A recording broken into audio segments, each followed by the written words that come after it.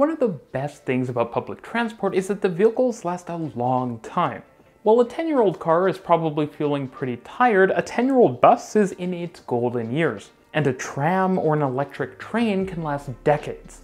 Not only are transit vehicles built in a more robust way than consumer cars, but they tend to use materials and operate in such a way that they can keep rolling year after year. However, despite this, a lot of cities have a problem with getting rid of their trains and trams long before they need to, wasting money and CO2 emissions on new trains when the old ones could have kept running. That's bad for the planet and bad for public transport. So let's get into depth on old trains, why they're okay, and why this issue hits so close to home for me.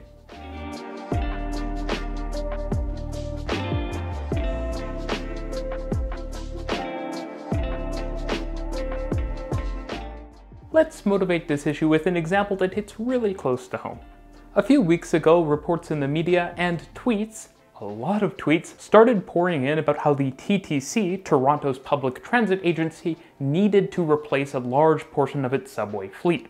Namely, the T1 trains, as well as the signaling on Line 2 where they operate, lest we experience a catastrophic failure of the subway system something which doesn't feel like a completely implausible concern given all of the issues the TTC has had with delays, derailments, and funding over the years.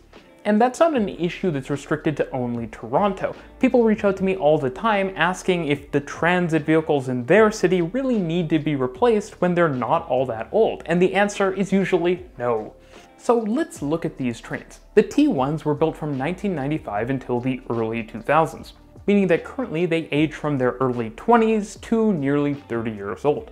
Now that seems and feels kind of old, but how it feels doesn't really matter. We need to look at other cities to see how old trains can realistically be and still be in safe operation. The truth is, from New York to Paris to London, far older trains are still in safe and reliable operation. Now, in some cases, like in London on the Piccadilly line, the trains really do feel like they're on their last legs, and that's not a situation you want to be in. But those trains are 50 years old. There's a lot of room between 25-year-old Toronto subway train and 50-year-old 1973 stock. Reality is, much of a train from its body shell to a lot of the electronics can last a very long time and most of the parts that don't last can and do get replaced on a regular basis, like we saw recently when we visited a streetcar yard. Buying a new train before you need to wastes money, and because you're likely scrapping the old trains, it's also worse for the environment. The parts of a train that passengers actually experience and touch and use can all be completely reimagined in a refurbishment. And looking around the world, best practice generally seems to be running a train for around 20 years, then doing a complete overhaul, including of the passenger experience, and then running it for around another 20 years. That overhaul can include things like installing new wayfinding screens, USB chargers, and better accessibility features. And it's something that cities from Hong Kong to Calgary do, taking decades old trains and making them feel basically new. Even in 2023, it's obvious that information technology moves forward faster than train technology, so it only makes sense that the former should be replaced more frequently than the latter. To be clear, the TTC did do this to an extent with the T1s, with new LED internal lighting and outward-facing LED screens. But these are probably the least useful changes you could make for passengers in a train which, in 2023, has no internal screen telling you where you are or where you're going. Now historically with the T1s, a major concern has been the unreliable air conditioners, which sometimes mean hot subway cars during the summer. But you can add new air conditioners and digital wayfinding screens without buying a new train. Acting like you can't is like pretending you need to buy a new house when your fridge breaks.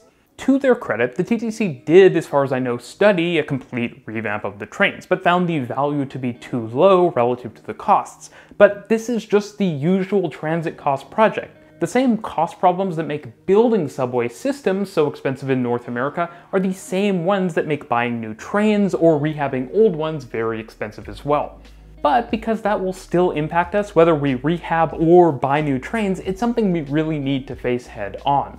Now, the other major concern is the Line 2 signaling, which is the traditional fixed block signaling that subway lines around the world do still safely and reliably use.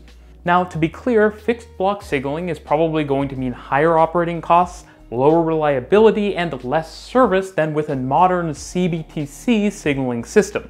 But again, this technology works safely and reliably around the world, and in Toronto today. In a place as expensive as Toronto, it's not clear to me that fully upgrading the train fleet and fully resignaling a subway line is worth it for a new extension that will make up less than 20% of the line's entire length, especially because the TTC already short turns trains on some lines, and the terminal of the Scarborough subway extension will still get really good service.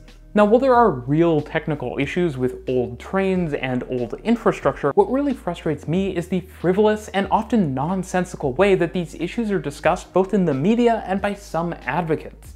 To be clear, this is not about nostalgia for old trains. I don't personally have some sort of connection with the T1s. It's about fiscal prudence. We need to prioritize. Transit systems have a lot of things they could spend money on and only so much money acting like an early fleet replacement is necessary is not only irresponsible, it could mean that something far more important doesn't get funded.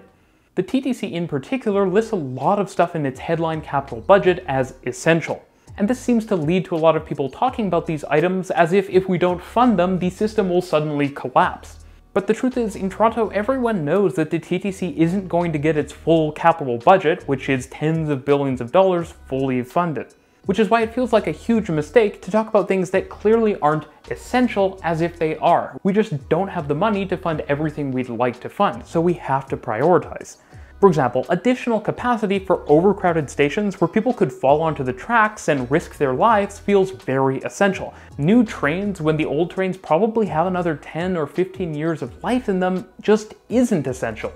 If London, Tokyo, and Stockholm can figure out how to keep their old trains running, Toronto can too.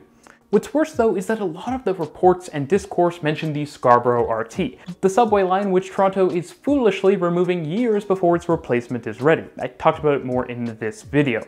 Well, as it turns out, the Scarborough RT closed this year early because of a derailment, which is often talked about in what is frankly an uneducated way, which basically goes, the TTC said the trains were at the end of their lives, so a derailment was inevitable. Of course though, way older trains somehow manage to operate safely on older lines every single day, including in Canada, so this doesn't make sense, it's a red herring. The SRT derailed because it was poorly maintained and it was in a bad state of repair, which would be obvious to anyone who looked at the infrastructure and compared it to say the Vancouver SkyTrain, which uses very similar infrastructure. Reporting on the derailment suggests that the problem was poorly tightened bolts that connected to the reaction rail, which lifted up and hit the train. And yet so much of the public discourse is about how this was inevitable because the line was end of life.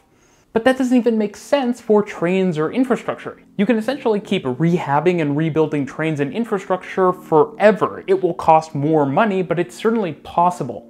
The problem here and with Line 2 is not running older trains. Lots of cities run old and older trains. The problem is not properly maintaining stuff, which can certainly be due to funding, but isn't because of old equipment. What should be concerning is that a poor state of repair, well, that's a problem that can transfer from line to line, including a line that's brand new and has brand new trains. Now, none of this is to say I wouldn't want new trains. The TTC's designs for a second generation Toronto rocket looked really good and had basically every feature I could have wanted. So much so that I wrote an entire article, which I'll link down below, about the trains like a year ago. But this whole situation is a sign of a common problem that advocates face, something which I honestly didn't appreciate and fell into from time to time until a friend shared their thoughts with me about it a couple of years ago. The reality is that just because I want something and it would be an objectively good thing doesn't mean it's the best thing we could be doing. You see, as an advocate, it can be tempting to use the public's concerns about old trains causing derailments to push for new trains. Even if it's bending the truth to say old trains are hazardous or likely to derail because of their age. Bending the truth or needlessly hyperbolizing. Those trains are so old is tempting because it can feel like a path to something better. But this hurts the credibility of transit advocates in a sort of boy who cried wolf way. And I personally think it distracts from the real problems we have. like a desire not to refurbish old vehicles like most good transit systems do, or to fight the cost problems that lead to us having more expensive refits and more expensive new trains. Thanks for watching.